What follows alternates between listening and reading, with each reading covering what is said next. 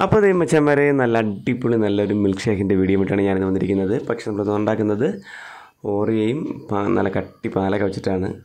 അപ്പോൾ അതേ നമ്മൾ ആദ്യം ഓറിയോ ബിസ്ക്കറ്റ് ഇത് ഇങ്ങനെ ഒരു ജാറിലേക്ക് ഇട്ട് കൊടുത്തു.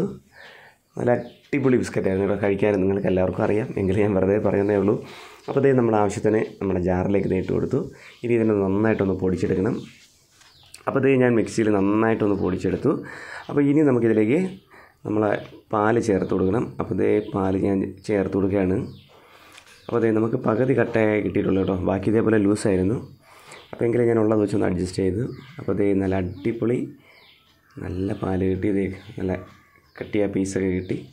അപ്പോൾ ഇനി നമുക്കിതിനെ ഇതിലേക്ക് നമുക്ക് ആവശ്യത്തിന് ഇനി നമുക്ക് പഞ്ചസാര ചേർക്കണം. നല്ല മധുരം ഇഷ്ടപ്പെടുന്നവരാണെങ്കിൽ കൂടുതൽ ചേർക്കണം. ഇല്ലെങ്കിൽ ഒരു മിനിമം ചേർത്താൽ മതി. അപ്പോൾ ഞാൻ കുറച്ച് മധുരമൊക്കെ ചേർത്തു.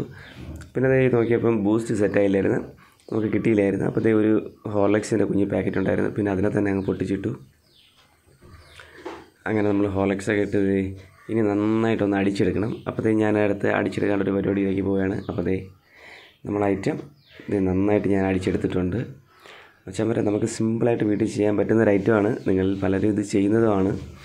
എങ്കിലും അങ്ങനെ ചെയ്യാത്തവർക്ക് വേണ്ടി ഞാൻ പറയുകയാണ് അപ്പോൾ ദേ നമ്മുടെ വീട്ടിലെ ഒരു കുഞ്ഞൻ ഗ്ലാസ്സിൽ ഇത് ഞാൻ ഒഴിച്ചെടുത്തു.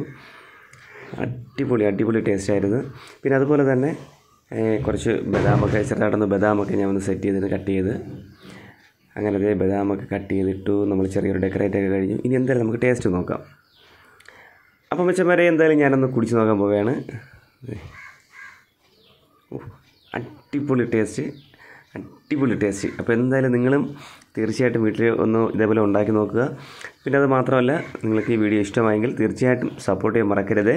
അപ്പം നാളെ വൈകുന്നേരം മറ്റൊരു വീഡിയോ കൊണ്ട് കാണാം. ബൈ